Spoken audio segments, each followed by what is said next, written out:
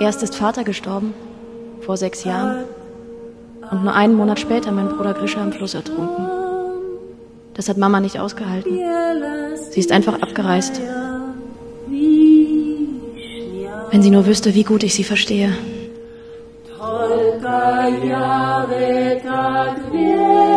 Ich fasse mich kurz. Sie alle wissen, Ihr Kirschgarten soll verkauft werden, um die Schulden zu bezahlen. Dass ich betrunken bin. Das ist alles nicht wahr, dass ich bei Verstand bin. In diesem Kinderzimmer habe ich geschlafen, von hier in den Garten geschaut und jeden Morgen erwachte zusammen mit mir das Glück. Der Garten war damals genauso, es hat sich gar nichts verändert. Weiß, ganz weiß. Meine Freunde,